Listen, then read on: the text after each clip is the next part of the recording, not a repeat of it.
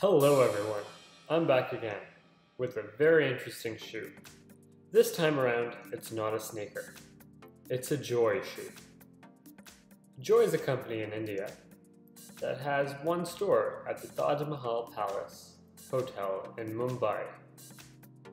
And they make leather shoes and leather slippers for men and women. And here's my pair.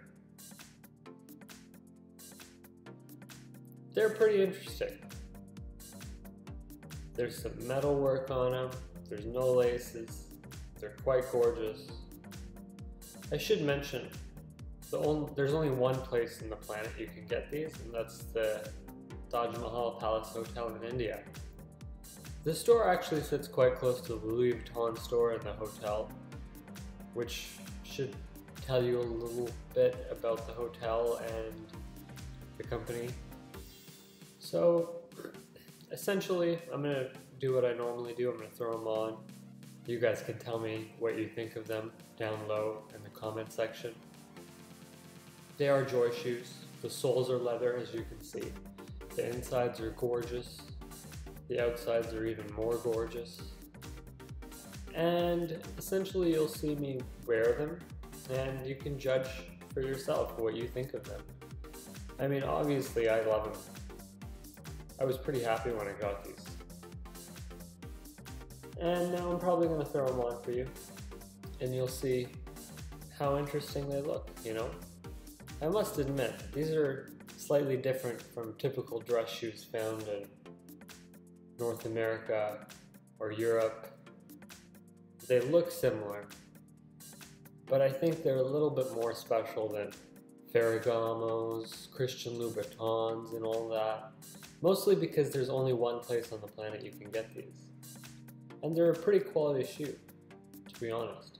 And I think they're much better priced than those other brands I mentioned. And look at the bottom, there's very interesting grip. It's almost like you could run around like James Bond in them.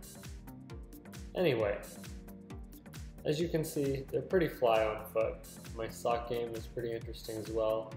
My jeans are kind of imperfect, they're not really that fly right now, but I mean, the whole like, the whole shot here shows you how fly the shoes are, you know? If I was wearing some better jeans, it could look even better. But essentially, I just want to highlight it's a very interesting company. They make very interesting shoes. I got a pair.